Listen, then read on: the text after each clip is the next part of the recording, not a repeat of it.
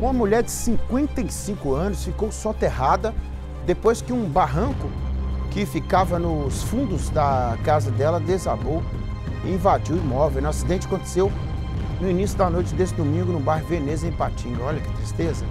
Ah, meu Deus do céu.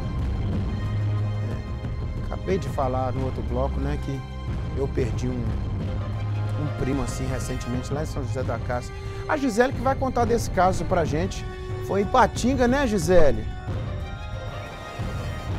Oi, Nico, foi sim, foi em Patinga, no bairro Veneza, e essa terra deslizou, segundo o Corpo de Bombeiros, ontem à tarde teve uma ventania muito forte aqui na região e teria sido depois dessa ventania que este, este barranco desabou. E olha só, o curioso é que este imóvel já havia sido interditado em janeiro porque parte deste mesmo barranco já havia cedido. Olha aí, a dona Alda da Conceição, de 55 anos, ela ficou praticamente soterrada, somente com a, a cabeça para fora da terra e foi socorrida pelo Corpo de Bombeiros ontem à tarde. Ela foi levada para o hospital daqui de Patinga e ficou em observação, mas ontem mesmo recebeu alta e hoje ela retornou para a casa dela. Olha só, Nico, essa questão de ela sair da casa, voltar, isso segundo a moradora, porque ela não tem para onde ir.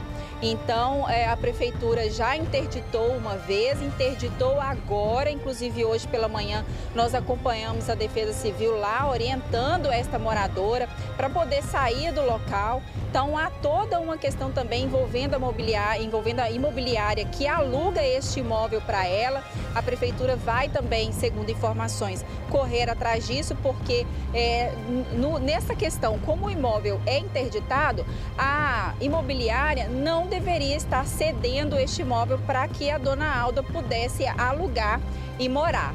Então, é, a, a, Defesa Civil também está contactando os familiares para que ela tenha um lugar aí para poder passar a noite, né, até que ela consiga alugar uma casa. A Defesa Civil também informou que ela não entra nos critérios de aluguel social, né, que é quando a prefeitura concede um valor para que a pessoa possa alugar uma casa, mas não é o caso dela não, ela não entra nesses critérios. Mas olha só, Nico, o, o, o, o bom desta ocorrência aí, felizmente, a dona Alda não se feriu, ela está bastante preocupada, né, com essa situação, mas a notícia boa é essa, né? Que ela não se feriu, o barranco caiu uma vez, caiu a segunda vez, então já está mais que avisada, né, Nico?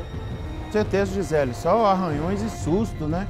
E o que nos cabe dizer aí é que se normalmente tem a interdição total parcial e normalmente na primeira interdição é, tem sempre um protocolo, né? O que se deve fazer a partir dessa decisão da Defesa Civil.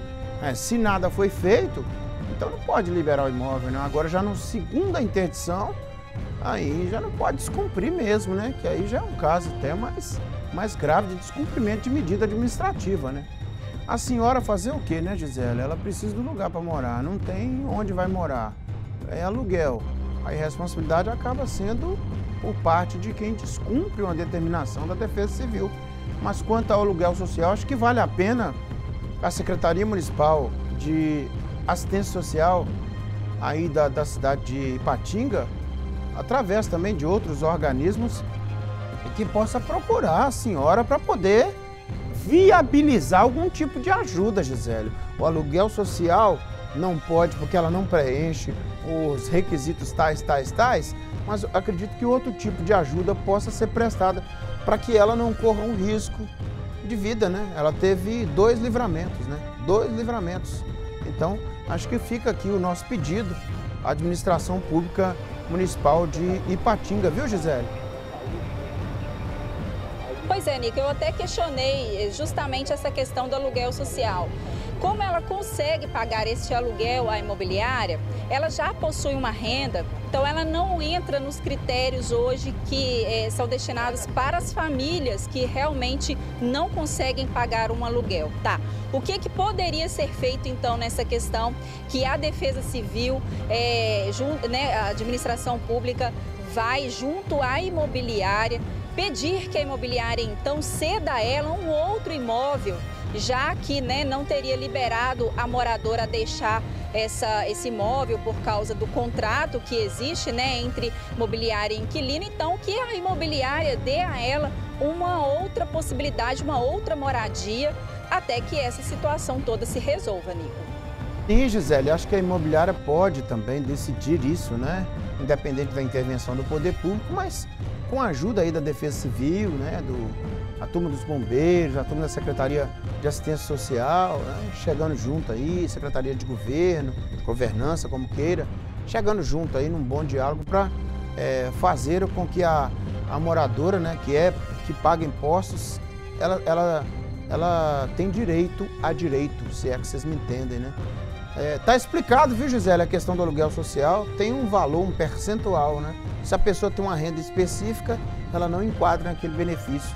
Mas fica o nosso pedido aqui de, de uma intervenção do poder público, junto à imobiliária ou quem quer que seja, né? Para ajudar essa cidadã. Obrigado, viu, Gisele, por sua informação.